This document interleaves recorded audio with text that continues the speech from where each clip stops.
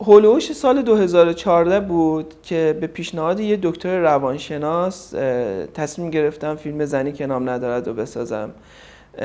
پیشنهاد ایشون این بود که با چند تا از مجرمین زن که قرار اعدام بشن ما چند روزی توی زندان زنان باشیم.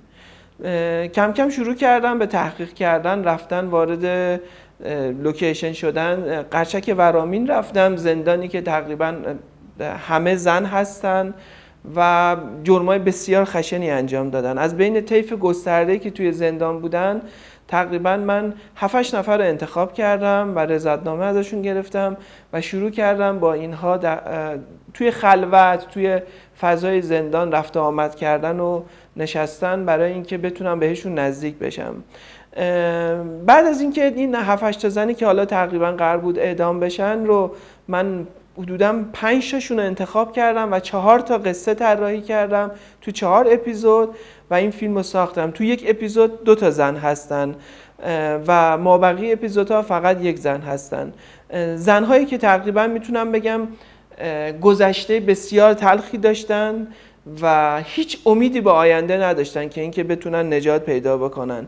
وقتی من وارد زندان شدم با گروه فیلم برداریم و شروع کردم کارمو احساس می‌کردم تنها روزنه امیدشون برای نجات این فیلمه. یعنی فکر می‌کردن اگر این فیلم بعدا بیرون بیاد می‌تونه کمک بکنه به اینها که اعدام نشن. اتفاقاتی که بعدش افتاد من رو تحریک کرد به اینکه در حقیقت بتونم یک ساختار متفاوتی رو طراحی بکنم هنگام تدوین فیلم. راش های فیلم رو توی تدوین اول من با آقای کیارستمی استادم نشون دادم. آقای کیارستمی یک طراحی برای تدوین به من پیشنهاد داد که در حقیقت همین چیزی که الان تو فیلم وجود داره.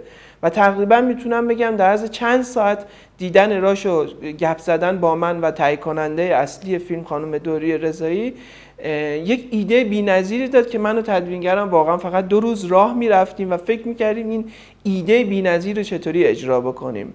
فیلم نجات پیدا کرد یعنی فیلم در حقیقت پوست انداخت توسط عباس کیارستمی. کیارستمی برگشت به من گفت چرا دوست داشتی وقتی این ایده بهت پیشنهاد شد بری بسازی؟ فکر می‌کنم سوال کیارستمی الان خیلی توضیح خوبی باشه برای منی که دو تا فیلم تو زندان های ایران ساختم. متاسفانه من با توجه به اینکه پدر بزرگم آرتیست خیلی بزرگی بود بچه های اون متاسفانه آدم های مثبتی توی جامعه نشدن.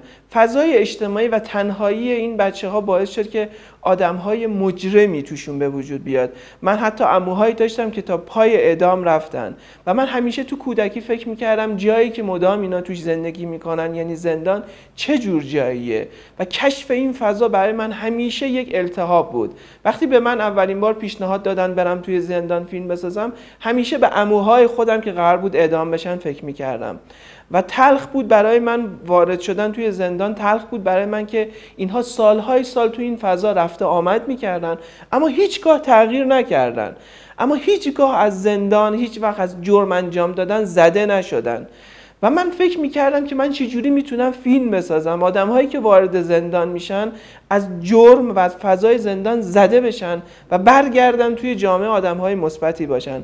البته من توی این فیلمم زنی که نام ندارد تصمیمم این بود که فقط تصویر بکشم اتفاقات زندان اما توی فیلم بعدیم خط باریک قرمز علاوه بر اینکه تصویر کردم اون اتفاقات زندان رو کاری کردم که مجرم ها تصمیم بگیرن که وقتی به فضای جامعه برمیگردن دیگه به زندان برنگردن. یعنی تغییر توی اینا اتفاق بیفته.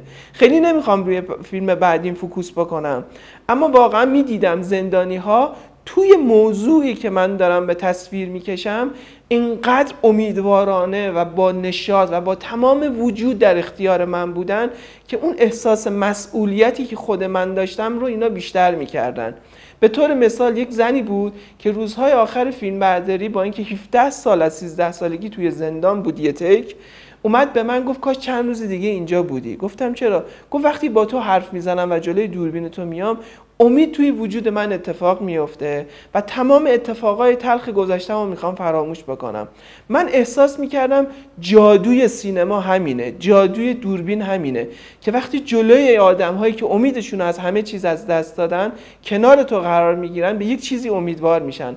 علاوه بر این در حقیقت این آدم ها جلوی دوربین به یک چیزی فکر می‌کردن که هیچ وقت توی زندگیشون نبود. چیزی رو فیلمساز به اینا می‌داد که هیچ وقت توی زندگیشون نبود.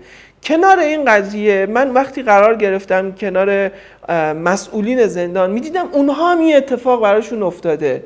اما متاسفانه بدترین اتفاق اینه که فیلمی که مستندساز می‌سازه هیچ وقت دیده نشه و امید اون زندانی ناامید بشه. و تلخی اتفاقی که برای زنی که نام ندارد در کشور من افتاد دقیقا همینه که این فیلم هیچ وقت توی کشور خود من دیده نشد. با اینکه همه مسئولینی که مقابل من قرار می‌گیرن به من میگن ما امیدواریم زودتر بتونیم این فیلم رو اکران کنیم یا در معرض نمایش عموم قرار بدیم. قدرت سینما خیلی زیاده. اما تو این مواقع تو این جور لحظه هاست که من فیلمساز به این فکر می‌کنم کارگردان خود شخصا چقدر ضعیفه.